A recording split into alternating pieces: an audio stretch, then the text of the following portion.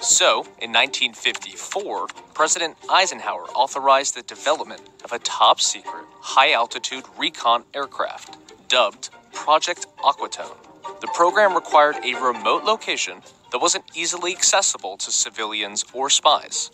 Area 51 fit the bill perfectly. It was in the Nevada desert near a salt flat called Groom Lake. No one knows exactly why it's called Area 51, but one theory suggests it came from its proximity to the Nevada nuclear test sites. The Nevada test site was divided into number designated areas by the Atomic Energy Commission. The location was already familiar territory for the military, as it had served as a World War II aerial gunnery range. In the summer of 1955, sightings of unidentified flying objects were reported around Area 51. That's because the Air Force had begun its testing of the U 2 aircraft. The U 2 can fly higher than 60,000 feet.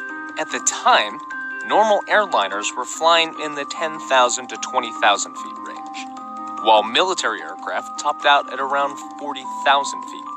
So if a pilot spotted the tiny speck that was the U 2 high above it, they would have no idea what it was.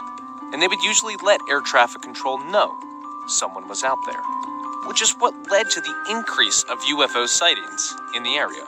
While Air Force officials knew the UFO sightings were U 2 tests, they couldn't really tell the public. So they explained the aircraft sightings by saying they were natural phenomena and high altitude weather research. The testing of the U 2 ended in the late 1950s, but Area 51 has continued to serve as the testing ground for many aircraft, including the F 117A, the A 12, and the Tacit Blue. No one knows for sure what Area 51 is up to these days. The government never even publicly acknowledged the existence of the base until 2013, with the release of declassified CIA reports. But if you're ever at the Las Vegas airport, keep an eye out for some small, unmarked passenger planes in a fenced off area. They're how Area 51 employees get to work from their homes in Vegas.